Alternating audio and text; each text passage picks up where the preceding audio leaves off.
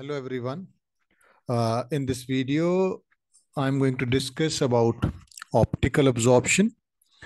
Uh, as you know, this is one of the important phenomena as far as your optoelectronics is being concerned. The book I'm following is Solid State Devices by Ben G. Streetman. So uh, let's start uh, optical absorption, uh, absorption. So what you will find that uh, when you talk about your semiconductor devices, then the main basis of operation is that the, there is creation of charge carriers in excess of thermal equilibrium values. The moment you increase the temperature of your device, what happens? There is creation of charge carriers and this leads to participation in conducting activities.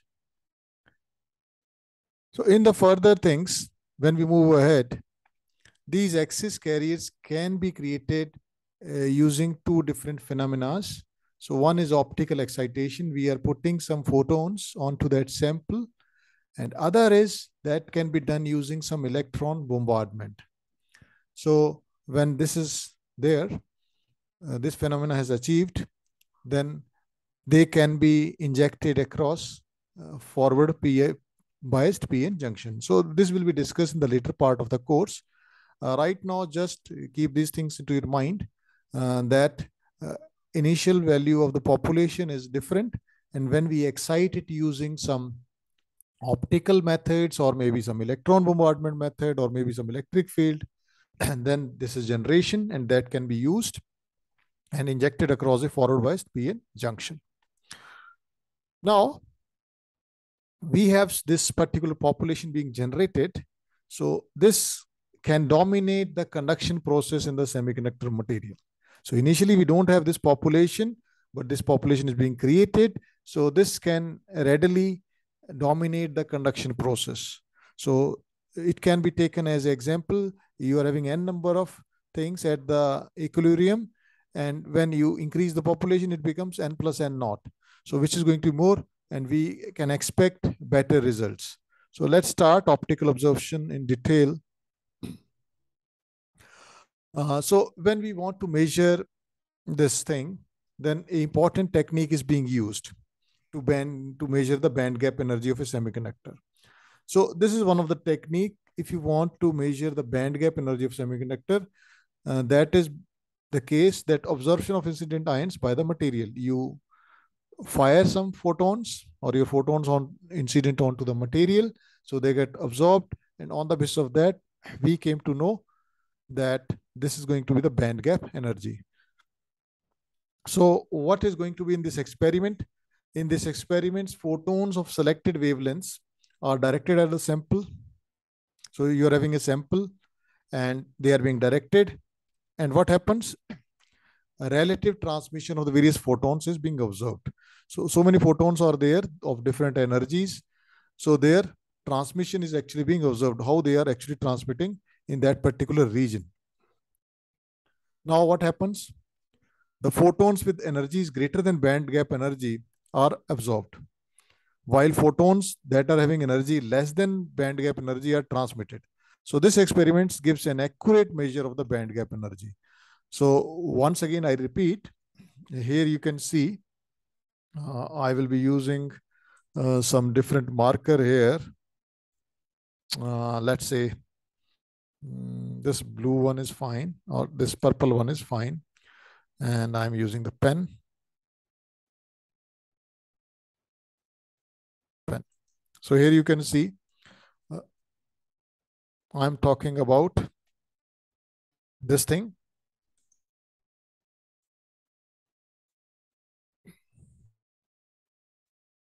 I'm talking about this that when you're having energy is greater than band gap energy, they are absorbed. And when photon energy is less than, then they are transmitted. So this gives a clear distinction between two things. Uh, that what is the energy? So those greater than band gap are absorbed. And while those less than that, they will be transmitted. So the electron and hole created by this absorption process are called excess carriers. So this absorption process gives excess carriers. So since they are out of balance with their environment, they mutually recombine. So when there is a balance, imbalance, then they will recombine. Now we are having excess carriers in the respective bands, conduction band and valence band. So they are free to contribute to the conductivity of the material at a particular level. So here you can see the experiment I am talking about. It took place in three different regions. So what happens when your h nu is greater than band gap energy? So the energy which we are firing a photon with this particular energy h nu, if this is greater than band gap, it will be accomplished in three different steps. Step number one is an electron hole pair is created during the photon absorption. So photon is being observed. So EHP is being there. This hole is being created and this will jump to this particular place. Now, when your electron moves into the conduction band, this is conduction band, this is valence band, already discussed in the previous classes. So what you will observe, uh, that excited electron will give uh, some energy because it is now in the lattice so there are so many scattering events, and in that, uh, what happens? It gives off energy to the lattice. So this is the energy loss mechanism. Uh, after that, what happens? The electrons uh, lose the energy and the electrons recombines with the hole in the valence band. So it comes back and recombine with the hole in this. So this is the entire process. So here you can see uh, in this particular region, we don't have uh, any energy level. This is band gap. So this can give you some answers to your particular problem. So three steps are there. One is electron hole pair generation or creation when photon is being absorbed by a particular material. Uh, then followed by that, your electron, when it is in the conduction band, uh, it gives some energy uh, to the lattice by scattering events. And the later on, the electron recombines with the hole in the valence band. So this is the absorption phenomena till date. Next. Now, when your energy of the photon is less than band gap, uh, it is unable to excite an electron from the valence band to the conduction band. Uh, so this is quite clear. The energy is not enough, it will not go. Uh, suppose you want to buy something, you don't have that much money, you will not be able to buy that. Similarly, uh, photon with less energy than band gap uh, it is unable to excite an electron from the valence band to conduction band. And uh, there is no state that it will remain in that region, forbidden region. A electron is bounded to either in valence band or it is in conduction band. Uh, it cannot be otherwise that it will stay inside band gap. So when we talk about pure semiconductor, there is negligible absorption of photons so when we talk about pure semiconductors, there is negligible with photons, absorption by photons, and your energy h nu is greater than band gap energy. So if the photon with energy this is greater than band gap, less than band gap, sorry, then there is negligible absorption of photons. This should be less than. Uh, this explains why some materials are transparent in certain wavelength ranges. So mm, this can be seen that uh, some material behave as uh, transparent when they are being operated in certain wavelength ranges. So there are certain insulators such as um, good NaCl crystal because a large number of semiconductors behave like this. So there are no energy gap, large energy gap. So no electron states exist in the material. So that means they can be behaving as a transparent. Now, if your band gap is above 2 electron volts, only long wavelengths and the red part of the visible spectrum are transmitted. So this can be seen from here, this particular picture here.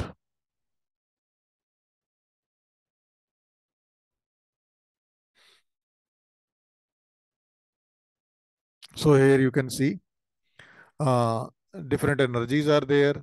Uh, these are wavelengths. So wavelength is from this side to this side, energy is from this to this side. So different materials are there. So on the basis of that, uh, you can clearly tell what is going to happen.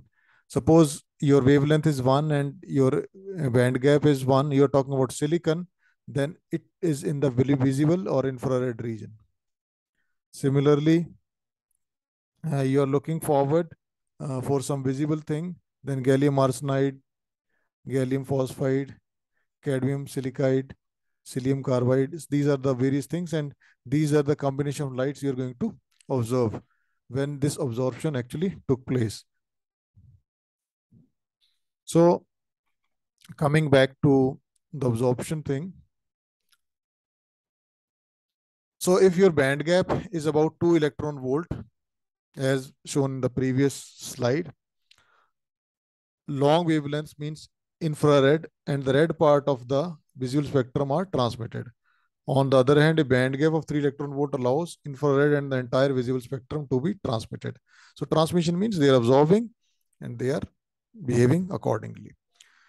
Then coming towards this experiment. So this experiment is a quite a good thing. So here you can see what is actually happening in, in this particular experiment. Uh, here you can see you are having a monochromator uh, which filter out a particular wavelength. And this is your sample. This is being zoomed out like this. So it is having a length L. And from length L, we are actually picking a very small uh, sample dx. So when it is actually moving on to this sample, so this is incident with energy I naught, and this is intensity IT, and here it is detector. So the simple phenomena, you are selecting a particular wavelength uh, that is being incident onto the sample and it is being reflected and detector is actually detecting. So what is being observed? This gives you the band gap knowledge and what is transmitted will give you that this is not going to be your cup of tea. That means this is not the desired region. What is being observed is actually giving you some information about the band gap. So that's what we are talking about. So let's discuss this experiment in detail. Now what happens if a beam of photons with energy h nu greater than Eg falls on a semiconductor? Then what happens? There will be some predictable amount of absorption determined by the properties of the material. So if your photons are having a greater than energy, this, then there is absorption and that will tell you that this is going to be the band gap of the material. And on the basis of the band gap, you can clearly tell uh, what kind of material it is, whether it is suitable for semiconductor purposes or not. Now, as expected, there is some ratio uh, that you are having a incident over transmitted or otherwise transmitted over incident. So ratio of incident light to the dependent on the photon wavelength and thickness of the sample. So that is the numerical we are going to discuss in the coming classes. So there is are the ratio, ratio of incident light to depend on the photon wavelength and thickness of the sample. So transmitted over incident. So they are two different. I naught is incident and IT is transmitted. So that ratio is actually being dependent upon the wavelength and thickness of the sample. So to calculate this dependence, let's assume that photo beam density intensity is I naught photons centimeter square second is directed at the sample of thickness L. So this is the intensity I have already shown in the previous slide which you're actually directing at the sample of thickness L. Now what happens? The beam contains only photons of wavelength L. So that is actually being selected wavelength lambda, sorry, this is lambda, wavelength lambda. Selected by monochromator. So monochromator is there. Uh, it, it is actually going to select a wavelength lambda. Now when your beam passes through the sample, its intensity at distance x from the surface can be calculated by considering the probability of absorption within an increment dx. So this is your sample and its length is L. And you are picking a very small region dx. So in that, you are actually calculating the probability of absorption, distance x from the surface. Then now you have incident some light and your photon has actually not being absorbed or it has survived without absorption. So we expect that there is no memory. So it does not tell us how far it has traveled, but its probability of absorption in any dx is constant. So any region, it is constant. It can be observed anywhere if it falls in that particular region. So there is a degradation of intensity with respect to distance dx. So that is proportional to the intensity remaining at x. So that can be given by this. So here you can see that this is the degradation of int intensity at any moment x with sample x.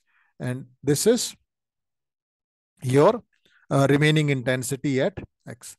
So uh, this is the graph you can see. So here you can see uh, you are having uh, this wavelength. So your wavelength is actually in this direction. Uh, this is typical band gap. Uh, this is alpha. and you can see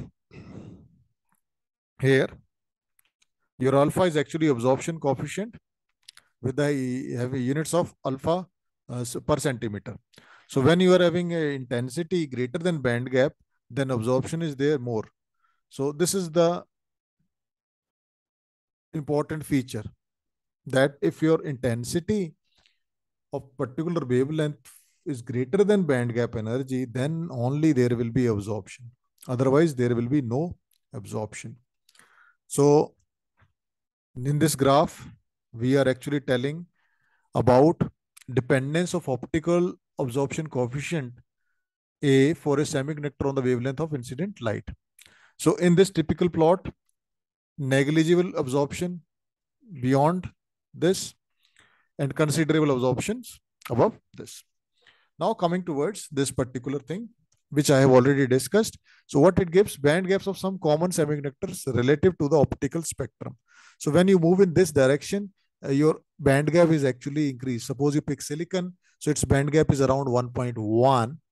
And if you incident a wavelength, uh, then if wavelength is more than one, then it gives you that how much is the absorption at that particular energy. So you need to have photons greater than this energy so that silicon can absorb something. And once it absorbs, it also radiates. So it radiates that is in this particular region. So when it comes back from conduction band, naturally it is going to release some energy. So that release uh, release of energy actually being decided by in which band gap your system is and it is actually radiating the energy. So now, as far as this discussion is being concerned, uh, you note that semiconductor absorbs photons with energy equal to the band gap or larger. They are not going to absorb the smaller energies. So silicon absorbs not only band gap light less than one micrometer, but also shorter wavelengths, including those in visible part of the spectrums. So silicon actually absorbs all the things below this. Now coming toward this, the equation which we have in the previous slide. So its solution is going to be like this. So here you can see, uh, this is your intensity at any point x, this is your incident, and this is the exponential function e raised to power minus alpha ax. And the intensity of transmitted sample through thickness i is actually being given by this. So if you want to measure intensity of light at t transmitted, then this is your incident light and minus alpha L at any distance L, where L is sample thickness. Now we talk about alpha. So alpha is absorption coefficient. It's having units of centimeters per centimeter, and it actually depends upon the uh, quality of your material which you are actually using. So thank you very much. Uh, I hope you get a fair idea about absorption and in the coming classes, we are going to discuss this in detail. So the main idea about uh, this uh, particular class is that you should know about this particular experiment. That if you want to know the band gap, then what you are supposed to do, you are supposed to use monochromator. So it will give you lambda, particular wavelength. It is incident onto the sample having thickness L. So when you incident it on this, then some light will be transmitted, some will be absorbed. So what is absorbed? That is giving you the knowledge of your system that what is the behavior of that particular system. So see you in the next class. Till then, goodbye.